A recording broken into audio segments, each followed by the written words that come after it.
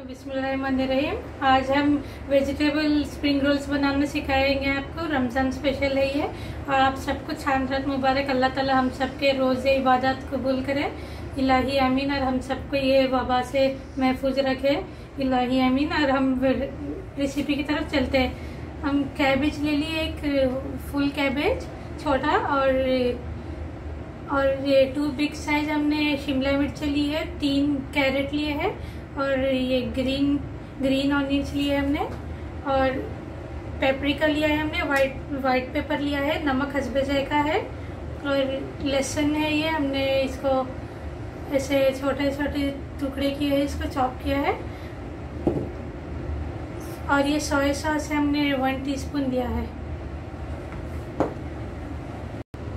और हम इसका ऑलिव ऑयल में फ्राई कर लेंगे, थोड़ा सा ही यूज़ करेंगे, अब टू टेबल स्पून और मोजरेला चीज़ ले लिया है हमने। हमें बहुत पसंद है, इसलिए हम यूज़ कर रहे हैं। ऑप्शनल है, या आप चाहे तो ले सकते हैं या नहीं ले सकते हैं। और हम आपको फ्राई करना सिखाएँगे। अब हम इसमें दो टेबल स्पून जैतून का तेल डाल लेंगे इसमें ज़्यादा तेल नहीं डालेंगे इसको और ज़्यादा पकाएँगे नहीं। आप लोग भी बनाइए, इंशाल्लाह बच्चों को, सब बड़ों को सबको पसंद आएँगे। रमज़ान शरीफ में बनाइए, इफ्तार में बहुत मज़े का होता है। इंशाल्लाह हम जैसे बना रहे हैं, आप भी वैसे ही बनाइए।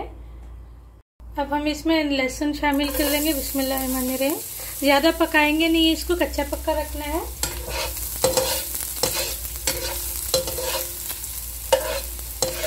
नहीं डालेंगे। और इसमें आप चाहे तो चिकन भी शामिल कर सकते हैं या नहीं कर सकते ऑप्शनल है। इसमें हम इसमें कैबेज शामिल कर लेंगे।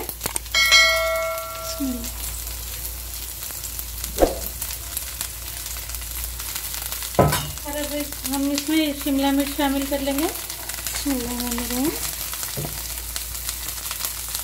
और हम इसमें कैरेट शामिल कर लेंगे। बिस्मिल्लाह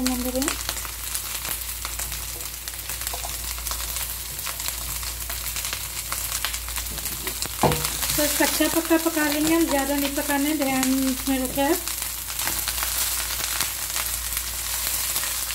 हम इसमें ग्रीन ऑनियन शामिल कर देंगे बिस्मिल्लाहिर्रहमानिर्रहीम ज़्यादा पकाया नहीं है हमने, ज़्यादा पकाएँगे नहीं। तो इसको मिक्स करेंगे।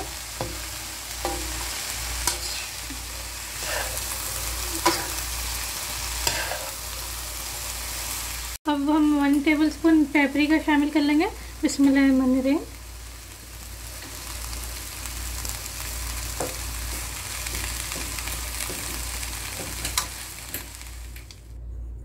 वन टीस्पून सोया सॉस शामिल कर लेंगे, बिस्मिल्लाहिर्रहमानिर्रहीम।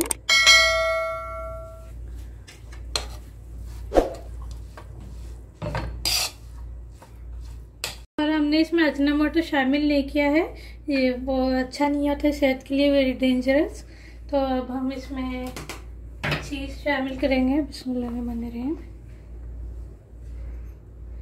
और इसको थोड़ा सा ठंडा होने के बाद हम इसके रोल्स बनाएँगे।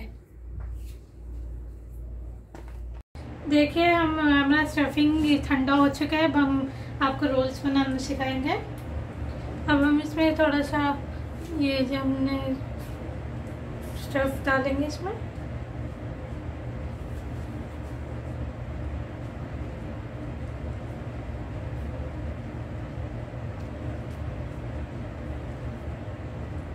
हमने मैदा ऐसा एक गाढ़ा मिला के रख लिया है, ताकि ये चिपक के बंद हो जाए।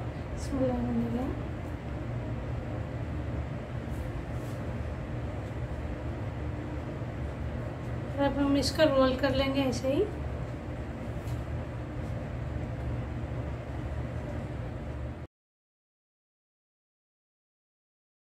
देखिए फ्रेंड्स तेल हीट हो चुके हैं ओवर हीट नहीं करेंगे हम इसको। दरमियानी आँच पर पकाएँगे बिस्मिल्लाहिर्रहमानिर्रहीम बी केयरफुल वाइल कुकिंग बच्चों को ना आने थे किचन में।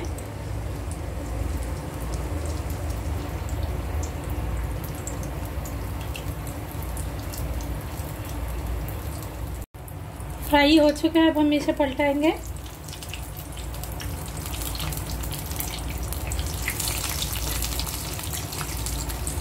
ज़्यादा ओवरफुल नहीं करेंगे, ज़्यादा नहीं डालेंगे तेल में ताकि पलटाने मुश्किल ना हो। थोड़े थोड़े करके तलेंगे आप भी ऐसी तरह ताकि मुश्किल ना हो आपको भी।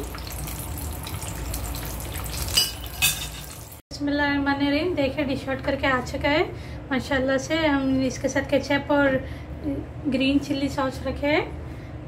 देखिए, हम आपको तोड़ के बताएँगे। बसमिल्लाम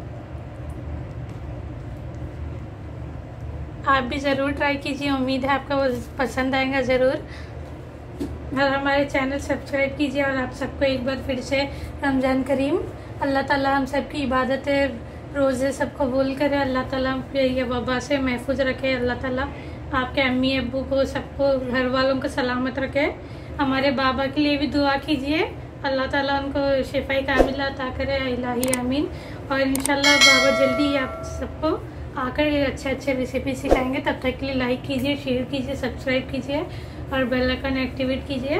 अल्लाह हाफिज़ Nasir. Thanks for watching please subscribe my YouTube channel and also activate bell icon to get latest updates